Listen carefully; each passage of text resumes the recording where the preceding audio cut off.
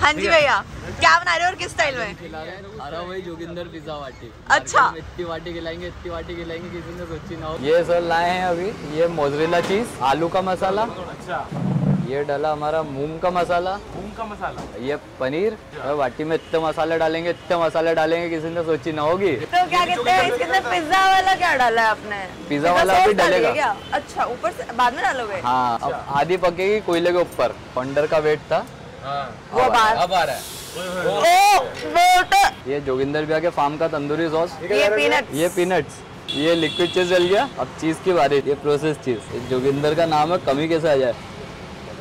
ये जोगिंदर पिज्जा वाटी कंप्लीट चटनी लगा लेते हो चल।